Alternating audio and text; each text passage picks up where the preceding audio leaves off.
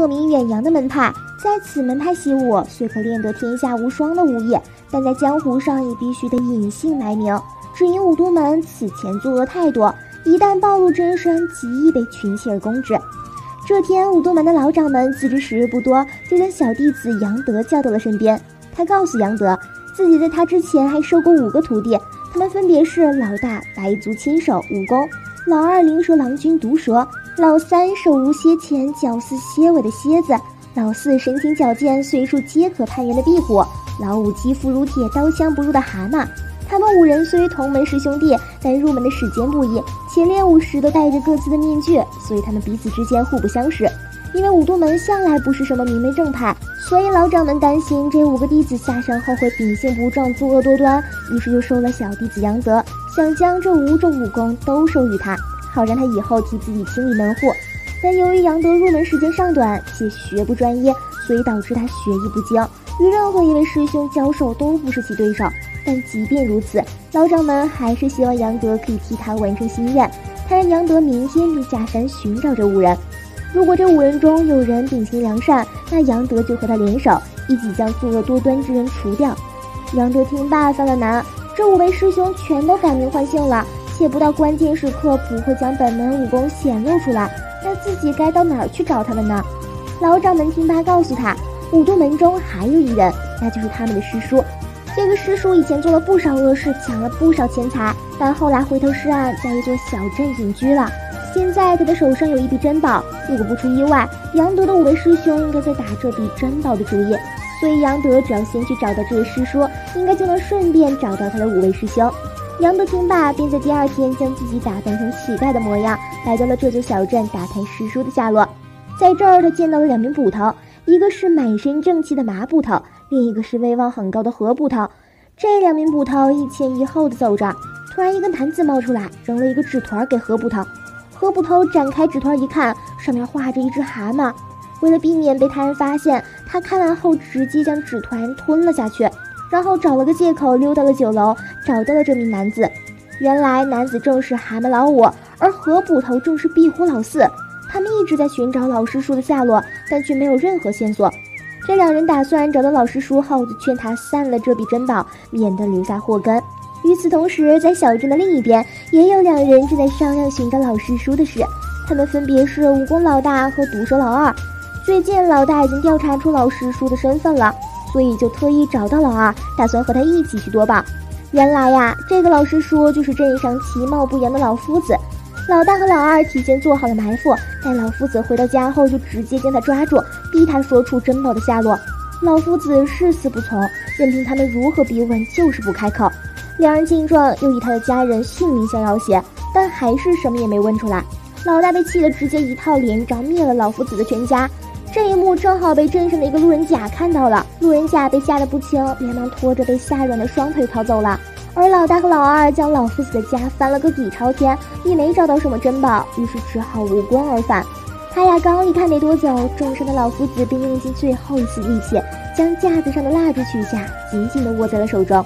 当他再次昏迷后，一个头戴蝎子面具的人走了进来。他掰开这个蜡烛，果然在里面发现了藏宝图。很快，老夫子家的惨案就在镇上传开了。李虎老四赶到现场，看到老夫子的伤口以及破碎的蜡烛，就大概猜到了是怎么一回事儿。他找到了蛤蟆老五，告诉他，老夫子应该就是老师叔。这于公于私，他都要找到凶手，替老师叔报仇。两人正在交流之际，老四感觉到窗口有人，于是连忙开窗将此人抓住。这来人不是别人，正是杨德。他说自己有老夫子一案的重要线索。原来他和那个路人甲交谈的时候，路人甲将昨晚目睹的经过都告诉了他。这下老四也知道了老大和老二的身份。他让手下做好埋伏，准备将老大抓捕归案。为了确保万一，他则找到老二，故意和他聊天，将他拖住。这边手下们并不是老大的对手，关键时刻老五跳出来和老大大打出手。由于老大不是老五的对手，所以很快的就被抓住，押上了公堂。县令传唤了那个路人甲。路人甲一眼就认出这人就是那晚的那个大胡子。眼看老大就要被定罪的时候，县令收到一封信件，便匆匆退堂了。原来老三给老二出了主意，打算把这件事推在老五的身上。毕竟老五武功高强，他不出，他们几个也别想有好日子过。于是乎，老二就仗着自己是富甲一方的世家子弟，收买了县令以及路人甲，让路人甲改口供，指认老五才是凶手。而县令则找了个借口将老四支开，然后趁机将老五抓了回来。不过老五毕竟是金刚不坏之身，想对他用刑逼他认罪很难，所以老二让县令连夜制作了一件万真衣。这老五有一处罩门，只要这罩门被破，金刚不坏之身也就被破了。于是县令便让人弄晕了老五。然后第二天将他关进这件万真衣里，但没想到老五竟然毫发无损地挣脱了出来。看来这罩门并不在他的身上。老二见状，便对他的头部展开了攻击。可老二也不是老五的对手。一番打斗后，眼看老五占了上风，突然两枚血尾镖从暗处射出，刺中了老五的耳朵。看来蝎子老三也在这里。由于耳朵就是老五的罩门，所以他的气功被破，已然没了金刚不坏之身。于是县令先是将他丢进了万真衣，然后又将烧红的铁块直接烙在他的背上。这一番折磨下来，老吴早已没了意识，昏了过去。县令拿着他的手亲自画押，让他将这罪认了下来。最后还上演了一出他畏罪自杀的假象。这个案件就这么了结了。为了确保万无一失，老大和老二还将收买的路人甲和小捕快通通灭了口。当老四赶回来，案件早已尘埃落定。他大发雷霆，直言定要为老五报仇。马捕头见状便劝他，这个案件已板上钉钉，让他千万不要冲动，以免丢了这个官职。他还说自己过两天就辞职回乡了，到时候这个总捕头的位置自己会推荐他来做，让他不要在这个节骨眼上横生枝节。可老四的性格，他怎可能会坐得住？他想要调查真相，却什么也查不到。老二虎同县令将一切做得天衣无缝。就在他为此极其苦恼的时候，杨德找到他，表明了身份。他说：“只要自己和他联手，就可将老大和老二轻松击败。但现在最麻烦的就是不知道老三到底是谁，也不知道老三是好是坏。”而另一边，老三再次找到老二，表示老大这人有勇无谋，这事儿迟早会坏在他的身上，所以就打算将他也除掉。老二看透了老三，他直言自己本是富家子弟，对老师说的珍宝并不感兴趣。奈何当年贪恋武功，误入了五毒门，从此一步错，步步错。他不想做坏事，但却被迫做了一件又一件。现在他不会再和老三联手对付老大的，否则只怕老三的下一个目标就是他了。这边老四和杨德直接来到了老二家，打算动手为老五报仇。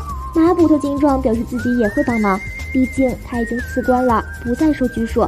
其他为人正义，见此不平，定会出手相助。老四听罢，索性也脱了捕头这身衣服。老大和老二见他们前来，立刻和他们动起手来。杨德和老四配合，打得他们毫无还手之力。老二眼见不敌，立刻对马捕头说道：“自己知道他是谁，都这个时候了，他还不准备动手吗？”原来这马捕头就是蝎子老三，不过他并没有出手帮助老二，反而想用蝎尾镖取其性命。将老二击倒后，他又劝老大和自己联手，还说到时候珍宝自己会分他一半。老大心动了，本想离开，又转身折回。就在双方打斗时，老二挣扎着爬起来，用尽所有力气给了老三腹部一招。在老二的助攻下，老三很快就领了盒饭，帮他机关算尽了。杨德和老四一起对付老大，轻轻松松并将其击败。随后，两人在老三身上翻出了藏宝图，他们打算找到这里珍宝，用它帮助穷苦之人。自此，江湖上不会再有五毒门这个名号了。故事到此结束。邵氏武打电影剧情设定上很有新意和想法，并且影片中的那些武术动作看得也极其过瘾。闲暇之时。